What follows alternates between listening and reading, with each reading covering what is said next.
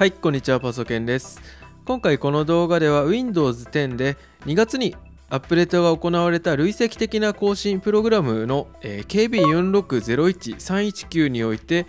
不具合であったり、えあとはですね、その不具合が発生した場合の対処方法についてご紹介していきます。このですね対象の KB4601319 の、累積的な更新プログラムをですねインストールした後にウェブカメラであったりワイヤレスマウスであったりデュアルモニターしてる場合の、2つ目のモニターセカンドモニターや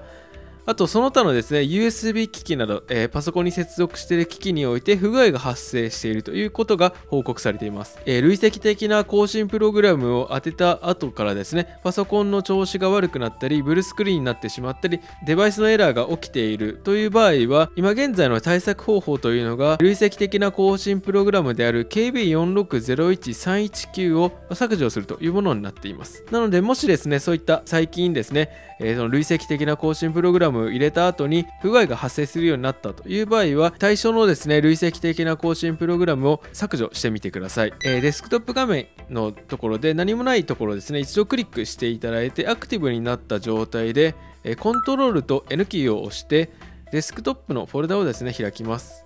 そして、えこの画面からですねコントロールパネルをダブルクリックします。続いてコントロールパネルの画面からプログラムの uninstall の文字をですねクリックしてください。そして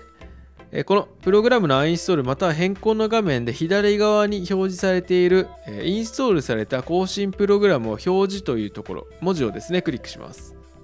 そうすると、これまでインストールされてきた、累積的な更新プログラムであったり、セキュリティの更新プログラムなどが一覧で表示されますので、ここからですね、対象の更新プログラムですね、KB4601319 を選択した状態で右クリックをします。そうすると、uninstall の、メニューが表示されるので、こちらですね、クリック、uninstall をクリック。していただいて更新プログラムの uninstall の確認画面が出るのでここで「はい」を選択します。えこの更新プログラムの uninstall が完了した後はパソコンの再起動の方をですね必ず行ってください。